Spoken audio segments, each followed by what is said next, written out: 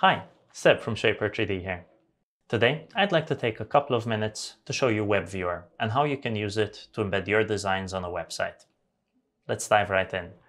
So I'm in Shapr3D here, and if I go up to the Share menu, you can see I've already previously published the WebViewer link here. And we've now added an extra option here, which will let you generate an HTML code. This is automatically generated whenever you create a new WebViewer link. And all you need to do is copy that from here and you can paste that into whatever system you're using to create your website. Let me show that to you quickly. So I've pasted in the HTML code which Shapr3D gave us, which we copied.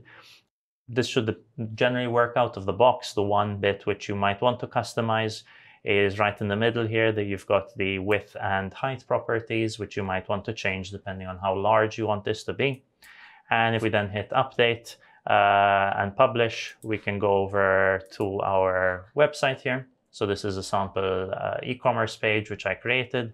And if we scroll down, you can actually see the interactive model.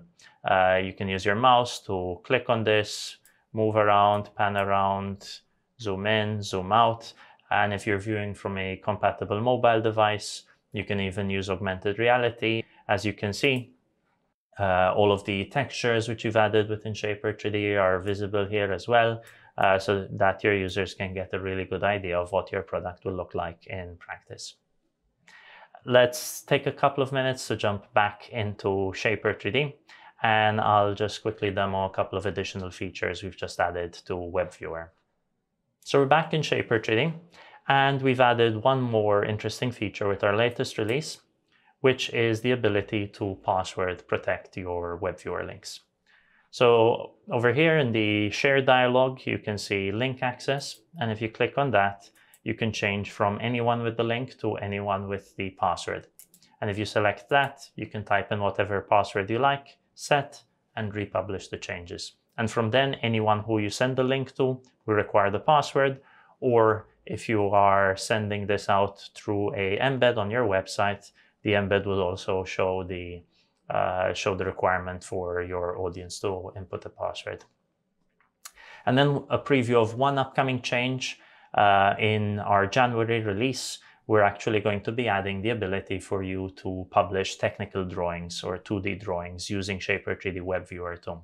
So from then, if you have uh, created a 2D drawing for your design and you'd like to have that either on WebViewer or embedded onto your website, all you would need to do is select that option and uh, you can then let your audience view those uh, details of your design too. Thanks so much for joining for this quick overview of WebViewer and embeds.